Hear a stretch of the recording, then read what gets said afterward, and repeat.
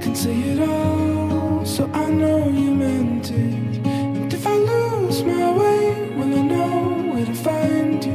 Andrea Michael Cowan. Today is our day. Today, this day, we get to show how we love, strong love. As we stand in front of our friends and family, I want to give you this day. Today is your day. I want you to stand beside me as we continue to build this life. I was always taught that no one knows you better than God Himself. I promise to use your body as a heating blanket all the cold nights of my life. I promise to always help you find the remote you lose, the wallet you lose, and the keys you lose.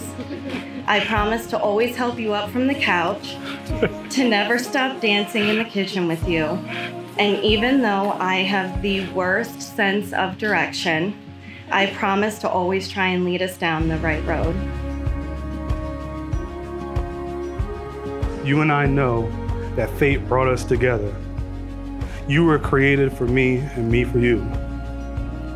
He chose you as my queen. You, the woman that I will start my family with and spend the rest of my life with.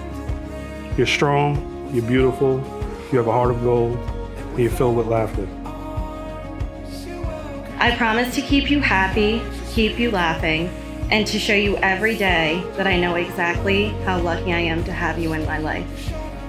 I promise to remember that neither one of us are perfect, but remind myself of the ways that we are perfect together. I'll be loyal to you and protect you, continue to adopt dogs with you, and will be the best wife and version of myself to you. The best times are when we sit and laugh about anything, usually about you falling. so, so today, I promise to continue to love, honor, and protect you. I will continue to learn and give you everything you need. You're my best friend, and I'm now Yasmin.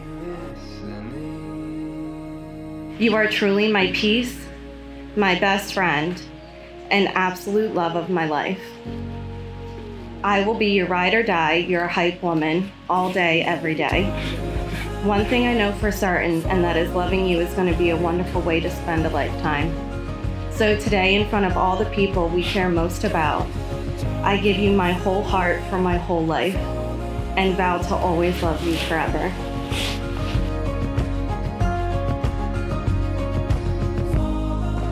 Dearly beloved, we are gathered here today in the sight of God and in the face of company, join together this man and this woman in holy matrimony.